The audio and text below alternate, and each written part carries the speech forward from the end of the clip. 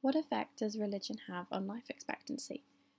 McCullough, Hoyt, Larson, Koenig, and Koenig in 2000 did a meta analysis which estimated the extent to which religious involvement is significantly associated with the odds of being alive at follow up. Religious people were about 25% less likely to die during the period of the study than non religious individuals. But why was this? Is it due to a healthier lifestyle, or perhaps more support, both psychological and financial, from their community? Alternatively, is it better recovery from illness due to less stress or more optimism? Further research examining life satisfaction by Salsman, Brown, Brechting, and Carlson in 2005 found that intrinsic religiousness and prayer fulfillment were associated with greater life satisfaction, and that life satisfaction is partly attributable to greater optimism and more social support, which in turn led to a greater life expectancy.